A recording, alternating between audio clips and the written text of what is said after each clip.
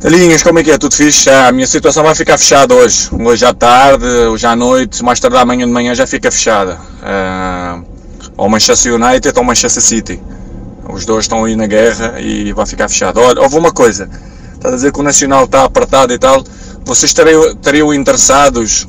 Eu acho que era uma mais-valia para o Nacional, pela experiência que tem, pelo, pelo bem que está ainda, mesmo com a idade que tem.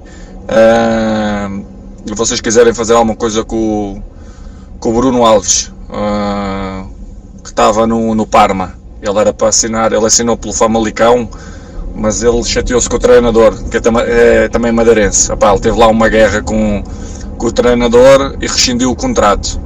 Tu achas que seria uma, uma opção válida? Uh, eu, para aquilo que eu conheço do Bruno, eu acho que era uma mais-valia para o Nacional. Não sei, fala com o treinador ou com o clube. Eu, o Bruno está sem clube agora mesmo. Abraço, tchau, tchau.